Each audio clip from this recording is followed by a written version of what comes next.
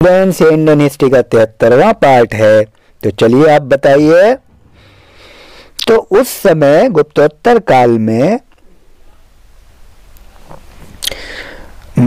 वणिकों की श्रेणी को मुखिया को, वणिकों की श्रेणी को मुखिया को क्या कहा जाता था? सृष्टि या महत्तक? और गुप्तोत्तर काल में श्रेणी के प्रमुख को क्या कहते थे? महत्तक या श्रेष्ठी। उस काल में, गुप्तोत्तर काल में, मध्य देश में बनने वाले वस्त्र को क्या कहा जाता था? वरोज या चुनारी, अर्थात चुनारी या वरोज। और भांच में बनने वाले कपड़े को क्या कहा जाता था? दुकुल या वरोज या वरोज अथवा दुकुल।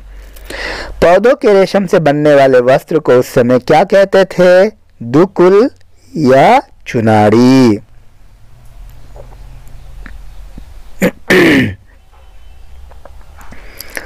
और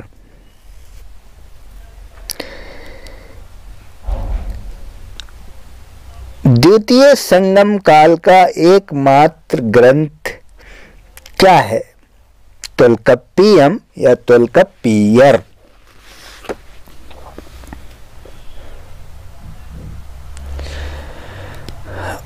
ओवैयार और नच्चलियार, संगमकालीन क्या थी? व्यापारियाँ या कवित्रियाँ कवित्रियाँ या व्यापारियाँ?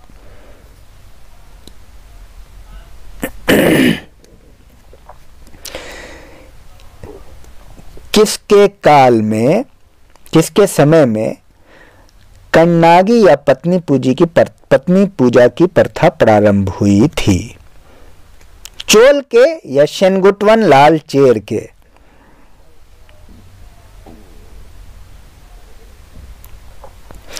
दक्षिणी भूभाग में सर्वप्रथम गन्ने की खेती को आरंभ करने का श्रेय तगडूर के किस राजा को दिया जाता है? कनगी को या अडगियमान अथवा नडमान को अडगियमान अथवा नडगामान को या कनगी को? किस चोल शासक का उल्लेख सात सुरों के ज्ञाता के रूप में मिलता है? कड़ीकल का या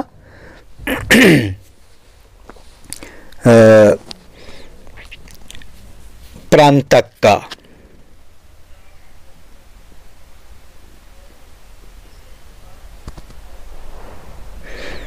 किस शासकों ने रोमन सम्राट अगस्टस के दरबार में दूत मंडल भेजे।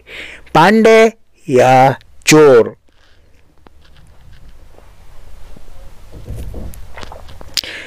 पुहार, तोंडी एवं मुशरी, किन बस्तियों के अवशेष मिले हैं?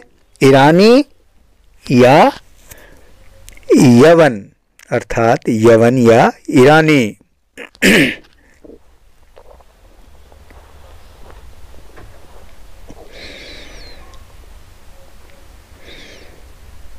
पालर नदी पर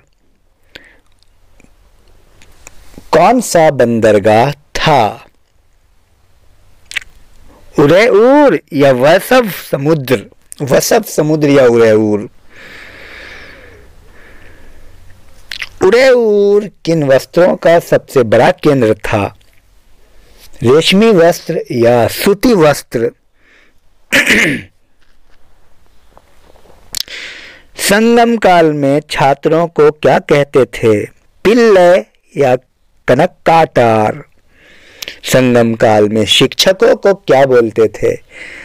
कनक्काटार या पिल्ले संगम काल में मरवा किसे कहते थे? रस्सी बनाने वाले को या गोहरन कर्ता को? गोहरन कर्ता को अर्थात रस्सी बनाने वाले को। संगम काल में रस्सी बनाने वाले को क्या कहते थे? पलयन या मरवा? संगम काल में डाका डालने वाले को क्या कहा जाता था? मलवर या एनियर? और संगम काल में शिकारी को क्या कहते थे? एनियर या प्लयन?